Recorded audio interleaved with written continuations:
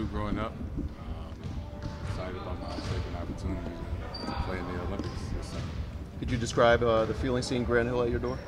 Uh, I mean, it was a surprise, right? Uh, sitting on the couch watching TV and you know, the doorbell ringing, it was Grant Hill.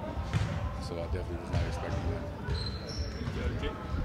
Jayson, Joe has been talking about some of the other teams took to championships, how he's been studying those. Just talking about you know, how you guys looked at the 08 run. Is there any other paths or just you know ways teams went to championships those conversations? Yeah, we looked at the 08 team, we looked at 2010 Lakers that won the championship and just how um, every path is different.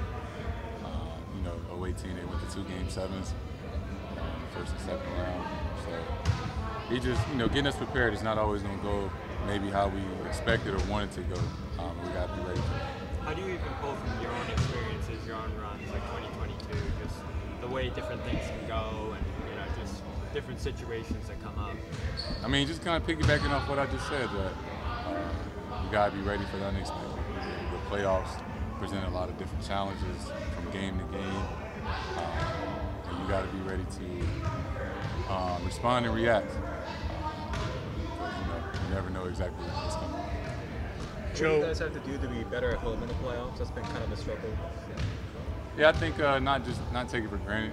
Right? I think in the past we just felt like coming back home we had the advantage and you know we were supposed to win and uh, maybe relax a little bit. You know, necessarily probably take the opposite approach that you know maybe feel like our back is against the wall when we come home. Uh, have some better outcomes.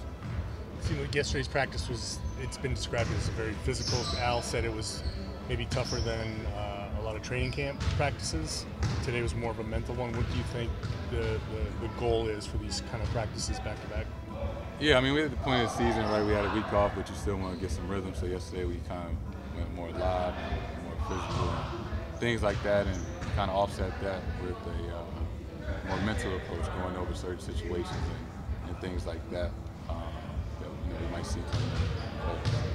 You pay attention to analytics at all? Watch previous years' films to see how teams play you in the playoffs differently? Yeah, watch a lot of film. Um, previous playoffs, things that we worked well for the team, worked well for me, things that didn't work well, um, and how we need to adjust in real time. Jayson, Jayson, you- huge Kobe guy. What was it like watching him lose the finals and watching him wait, then watching him win a finals in ten? Uh, I mean, I was super excited, right? You know, as I said when they lost in 08, and he got to come back and win in 2009 and 10, especially, you know, getting his revenge back in 2010. Uh, I was definitely a, a happy kid, you know, watching that.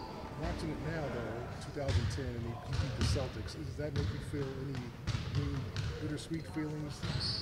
Uh, Seeing the Celtics lose and, and some of the guys lose lose that time.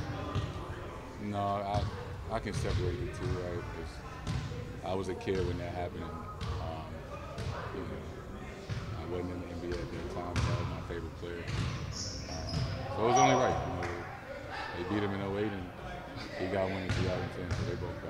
it. Got it. I got to ask you about the number Stay 10. locked in over the course of this entire regular season, but how hungry have you been for this moment now that the playoffs have arrived?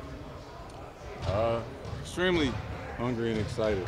Uh, we did a great job of staying present throughout the year, not looking past anybody or looking forward, you know, from month to month.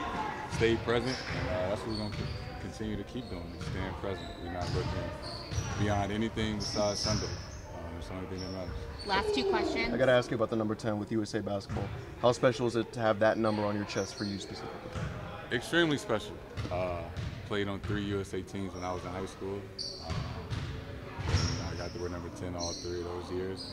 Knowing that, you know, my favorite player wore number 10 for the national team. And then played on the FIBA World Cup team in 19, at number 10. And in 2021, now at number 10 on that team. So uh, something I don't take for granted or lightly.